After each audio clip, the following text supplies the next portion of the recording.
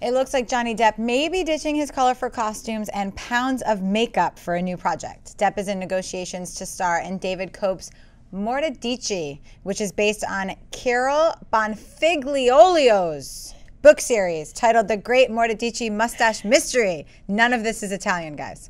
Depp would be playing a debonair art dealer and part time rogue who travels across the globe to recover a stolen painting. The painting is believed to contain the code to a lost bank account filled with Nazi gold and British spies, angry Russians, an international terrorist, and his wife are added to the mix to make the hunt more complicated. Amy Rose, do you like the idea of Depp starring in Mortadecai?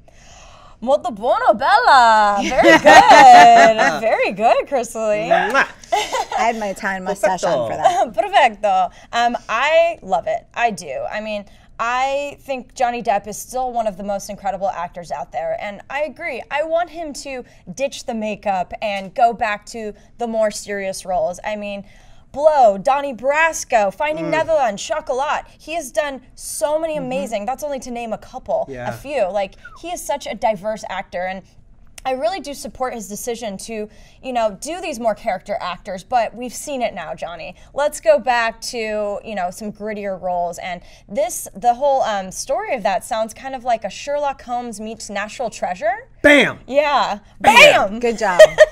And, With the uh, mustache. I love mysteries. I love that kind of you know story and vibe and style. And I think Johnny Depp, even though The Tourist was kind of a flop, I do think that whole kind of vibe would be great. And I just want to see him kind of embrace those more serious roles, but maybe with the charm that, and like charisma that Sherlock has. So I'm really excited about this. I'm really excited about Transcendence. I think these are all really good moves, Johnny. Thank you. yeah, yeah. You look, you took the words right out of my mouth. That's exactly what I thought. Uh, I, I thought, you know, this movie could be for Johnny Depp what Sherlock Holmes is for Robert Downey Jr. Yeah. You know, they both have that quirkiness and fun uh, about them, and this just sounds like such a fun little, you know, mystery and adventure.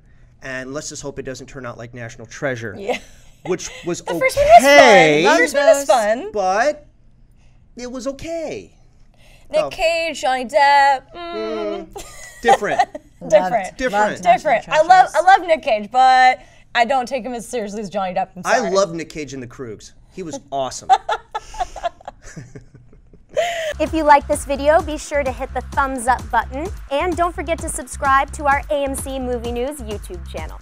It's free and we bring you all the latest movie news as well as our daily AMC Movie Talk Show. You can also follow us on Facebook and Twitter, where you can find out about all the latest prizes, giveaways, and special contests.